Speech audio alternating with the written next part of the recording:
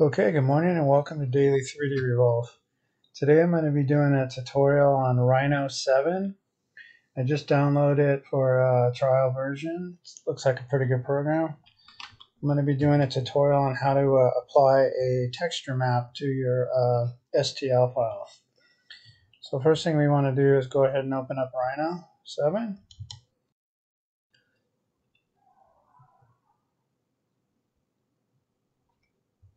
Think the trial is good for 90 days. So uh, the first thing you want to do is go ahead and uh, change your view. Um, I go ahead and change the view over here to uh, maximize restore viewpoint and I leave it on perspective and then um, the second thing you want to do is come over here to render or actually to view and then you want to come down here to rendered so that means anything that you render is going to uh, show up.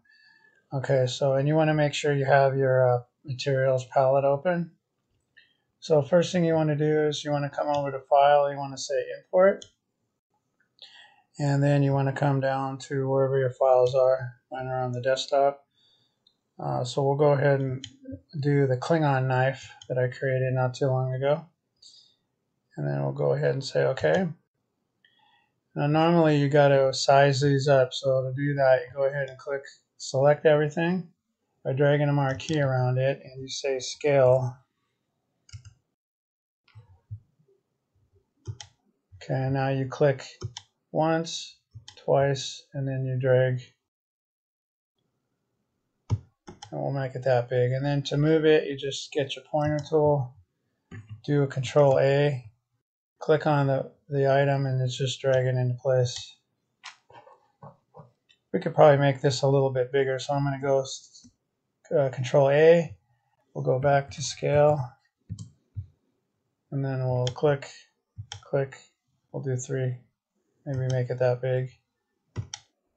Control A, and then we'll move it into place.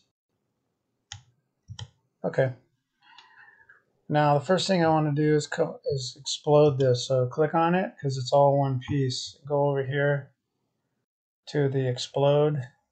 Now these are going to be um, in your palette here. So one that looks like a little explosion. So go ahead and click that. Okay, now you have individual pieces that you can change. So first thing we're going to do is we're going to add some materials over here. So to do that, you want to click on the plus sign. You want to say import from material library. I have a couple that I want to do with wood. So we're going to go ahead and uh, do the uh, African teak.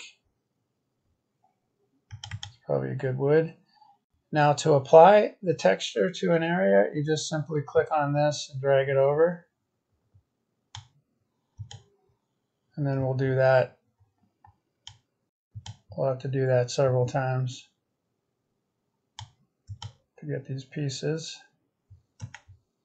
Just click and drag over to the area you want to color.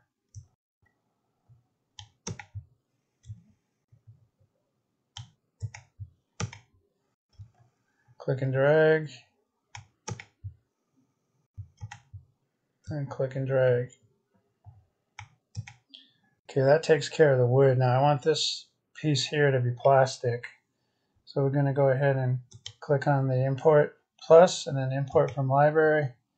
We'll go down to plastic, double click on that, and we'll just say a black uh, sandblasted plastic. That should look good. Okay, now we're going to click on that, drag it over to here. Give it a second to load in there. Okay, don't look too bad. And now we're going to go ahead and go plus. We're going to go import from material library. I'm going to come down to the metal. And we're going to do a, um, a satin metal. And then we'll just do uh, satin aluminum, I guess. Or let's scroll down and see what's down here. How about a satin satin titanium? That'll be good.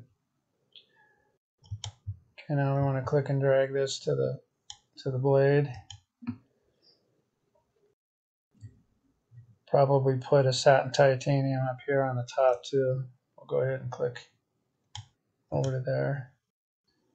Um, now I'm going to go ahead and change this. You can rotate this by your uh, right mouse click button. Let's give it a rotate. Now we'll go ahead and click and drag in here, fill that up. Okay, that don't look too bad. Um, we can go ahead and leave that like that. Now what I normally do to take a picture of this is do a screen capture. So you want to hold down your Windows icon, the shift and the S at the same time. And then it gives you this little box here and then you just uh, click and drag a marquee around the box. Okay, captures it. So it's one snippet uh, saved to the clipboard. So then I'll just go ahead and open up uh, Paint and just do paste, uh, crop it if I need to, and then I'll do a save as, uh, save as a uh, JPEG, give it a name, call that knife, save it on the desktop. Okay, so that's uh, that's one uh, color idea there for the knife. Now I'm going to go ahead and do um, new just to go through this process again. So we'll say no, we don't want to save changes. Now um, Rhino lets you specify feet, centimeters, inches. What I normally do is small object in inches. So go ahead and select that. Uh, normally comes with uh, comes the window opens up with four perspectives. You get a top view, a front view, a perspective, and a right.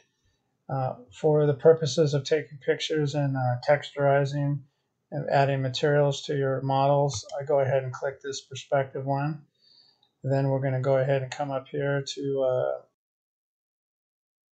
your view. We're going to come down here to rendered, and then we're going to go file, import, and we're going to import a second model. I'm going to go ahead and import this Star Wars Rebel Alliance necklace that I made not too long ago. And then we're going to blow this up. So we'll go scale. You got to type scale in the command thing. It's kind of a lot like uh, AutoCAD. If anybody, you guys are familiar with AutoCAD.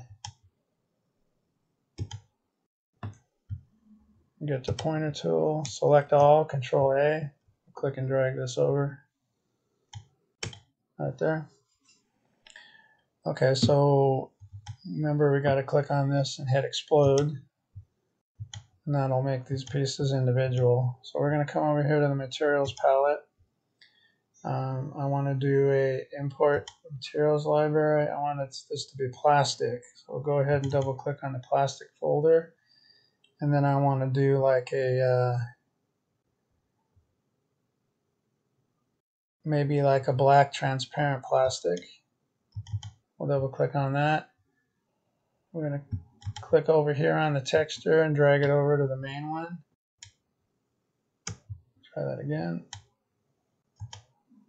Oh, that's weird. Yeah, I don't want that. That actually lets you see through the model. So we'll undo that. We're going to go ahead and let's get a different plastic. We'll go to uh, plastic um, we can go, let's scroll down to the bottom here.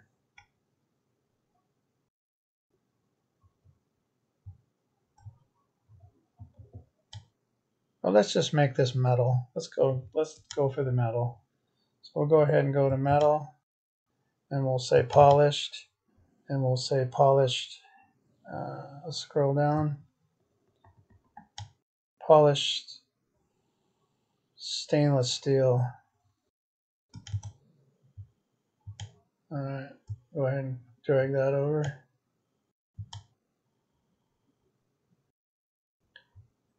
I don't really like that either, so we'll do undo. Uh, let's get one more material here.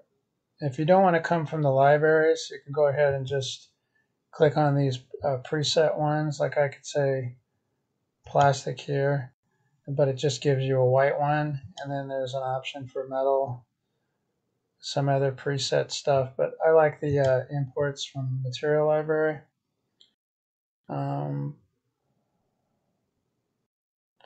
let's see here. Let's go. Let's try ceramic.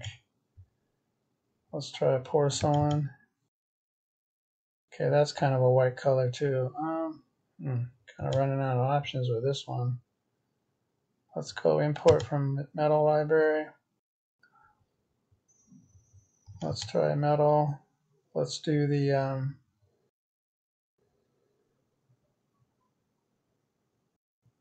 guess satin. Let's try a brass one. That might look interesting. Click and drag on over here. Okay, that don't look too bad. And now we'll go, um, we'll make that logo maybe like a black. So we'll go click here, go to import from metal materials library. Let's go to metal. Let's go to a matte. Let's let's do scroll down. Let's do the matte titanium. Had some pretty good luck with that. I'll put that there. Okay, that don't look too bad. You can also do the sides of these things. Um, so if you wanted a, another color in the side there, you could go ahead and, and texture these too.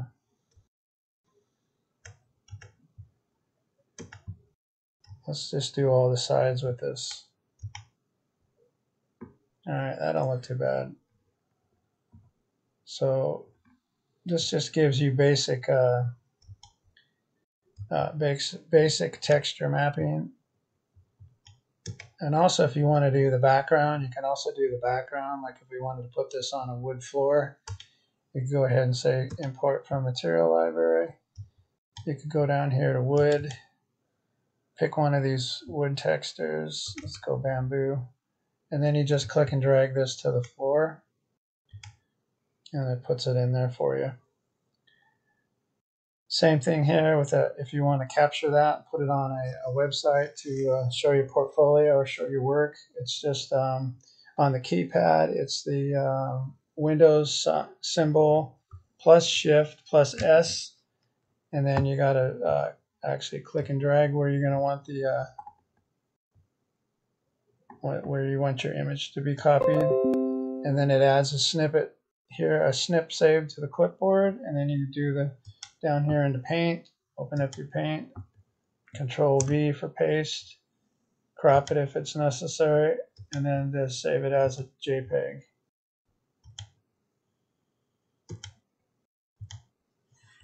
We'll just call it a sample and then save it.